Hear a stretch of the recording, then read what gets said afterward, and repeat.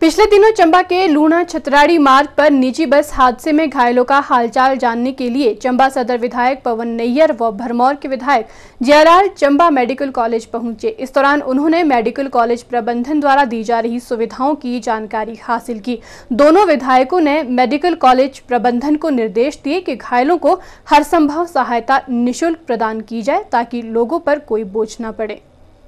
गत दो दिन पहले चंबा के लूणा छतराड़ी मार्ग पर हुए निजी बस हादसे में घायलों का कुशल क्षेम पूछने के लिए चंबा के विधायक और भरमौर के विधायक अस्पताल पहुँचे। इस दौरान उन्होंने मेडिकल कॉलेज में घायलों को मिल रही सुविधाओं का जायजा लिया। मीडिया से बात करते हुए दोनों विधायकों ने कहा कि सरकार घटना में मारे गए लोगों व घटना में घायल यात्रियों को हर संभव सहायता देने के लिए तत्पर है और उनके द्वारा ये निर्देश मेडिकल कॉलेज प्रबंधन को दिए गए हैं कि रोगियों का इलाज निःशुल्क किया जाए। और साथ ही जिन घायलों ने दवाइयाँ अस्पताल से बाहर से प्राप्त की हैं, उन्हें उनका भुगतान किया जाए।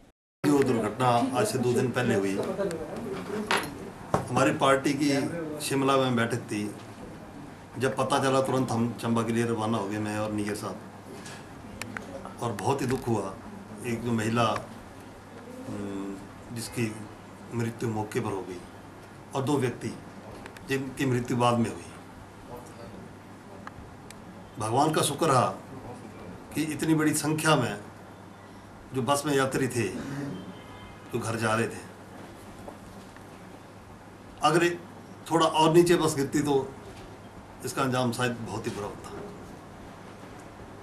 हमारा जो यहाँ का मेडिकल स्टाफ है डॉक्टर साहब हैं, बहुत मेहनत कर रहे हैं, एकदम अचानक अगर एक्सीडेंट हो जाए, एकदम इलाज करना इतना मुश्किल हो जाता है। पेशेंट और उनके साथ जो लोग आए हुए होते हैं, उनकी भावना को भी हम समझते हैं। उनके मन में भी क्रोध होता है, लेकिन इलाज तो डॉक्टर ही करेंगे, स्टाफ ही करेगा। कुछ अगर कमियाँ रही होंगी तो हम बैठ कर उनको दूर करेंगे।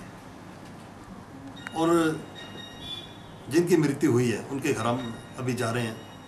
सरकार के ध्यान में ये मामला आया है। और बस वालों से भी हम बात करेंगे। या तो फिर इनका रूट कैंसिल करेंगे कि नई बसें भेजें। और जो रास्ता है, जहाँ ये एक्सीडेंट हुआ है सुनने में आया कि रास्ता वहाँ तंग था तो आज एक्शन साहब को लेके वहाँ जा रहा हूँ मैं और रास्ते को भी ठीक करवाएँगे। जो ये बस की दुर्घटना हुई है, परसों हम शिमला थे। जैसे ही हमें पता लगा, हम सुबह ही कल शिमला से चले और मैं और जियालाल जी यहाँ पहुँच गए।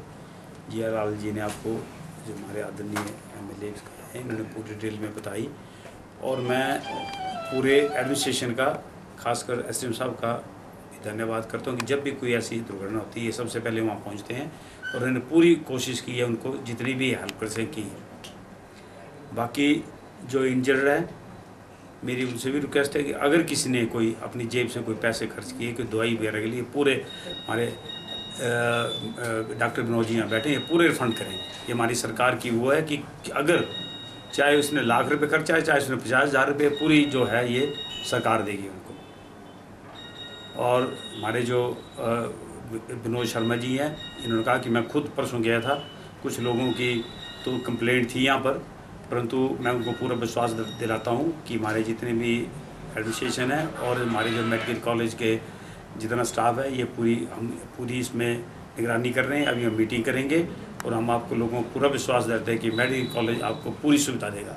सिटी चैनल के लिए चंबा से पुनीत मल्होत्रा की रिपोर्ट।